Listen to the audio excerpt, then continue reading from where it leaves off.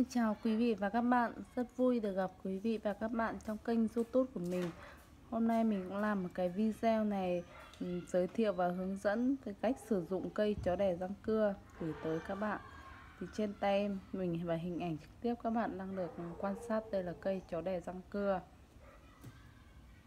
Đấy, các bạn quan sát kỹ là lá của cây chó đẻ răng cưa thì có màu xanh và có quả mọc um, xen kẽ dưới tán lá của nó này các bạn này. Đấy, quả nó nho nhỏ này các bạn nhé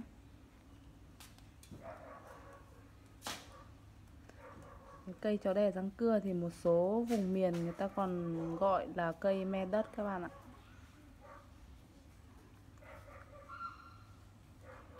Các bạn quan sát kỹ hình ảnh mà mình đang cầm trên tay đó là cây chó đẻ răng cưa. Tác dụng thần dược quý hiếm của cây chó đẻ răng cưa mang lại đó là điều trị và hỗ trợ phòng ngừa um, ung thư gan và hỗ trợ điều trị bệnh viêm gan B, C, sơ gan cổ trướng, tiêu viêm giải độc, dùng để giải rượu bia rất tốt các bạn nhé. Ngoài ra cây chó đẻ răng cưa còn có một cái tác dụng là dùng để làm trà điều trị bệnh nóng trong người các bạn ạ.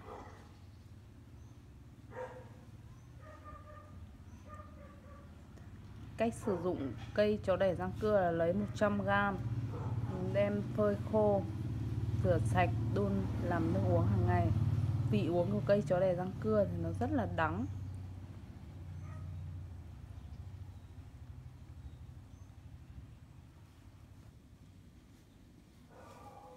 Các bạn quan sát trực tiếp. Một số lưu ý khi sử dụng cây chó đẻ răng cưa là những cái bạn không mắc phải căn bệnh viêm gan B hoặc viêm gan C thì chúng ta không nên sử dụng cây chó đẻ răng cưa đâu các bạn nhé.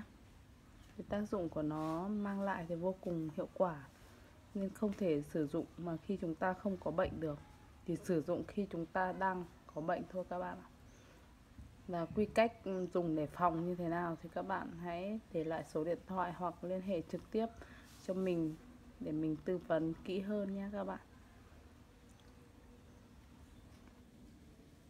Mời các bạn quan sát kỹ và tìm hiểu kỹ khi muốn sử dụng hay là nhìn thấy thảo dược xung quanh chúng mình mà muốn sử dụng đạt được hiệu quả tốt thì chúng ta nên tránh lấy phải cây giả và cây dại nhé các bạn nhé. Bởi vì tác dụng của nó không có mà cái độc hại mang lại thì chúng ta không lường trước được các bạn ạ. Trên tay mình thì đang cầm trực tiếp cái cây mang tên là chó đẻ răng cưa.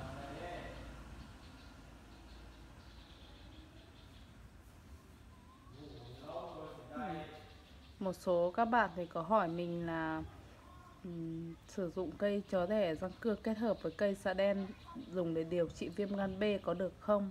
Thì qua video này mình cũng xin trả lời với các bạn là sử dụng 50g cây chó đẻ răng cưa và 50g cây dạ đen dùng để điều trị viêm gan B các bạn nhé.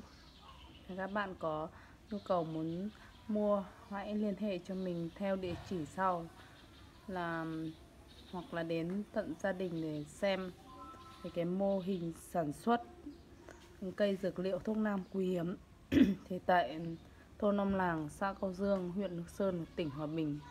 Số điện thoại là 0971 47 860 nha các bạn. Hoặc các bạn hãy để lại số điện thoại bên dưới video để mình um, tư vấn và um, trả lời các câu hỏi thắc mắc của các bạn kỹ hơn nhé. Xin cảm ơn các bạn đã theo dõi video của mình.